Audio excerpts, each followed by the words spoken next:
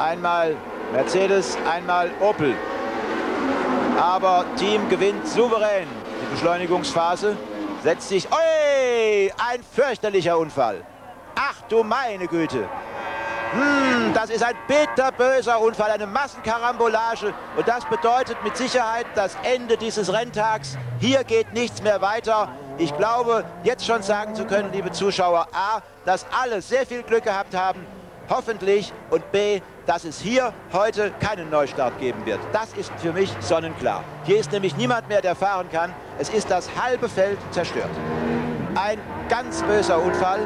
Und wir können wirklich von Glück reden, wenn hier alle einigermaßen gut rauskommen.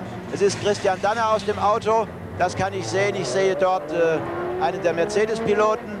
Es ist ein riesiger Schaden entstanden. Ich glaube, der Kalibra von ähm, Keke Rosberg war verwickelt. So wie das aussieht von den Farben her.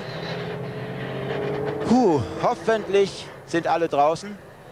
Kriege ich Entwarnung über Funk?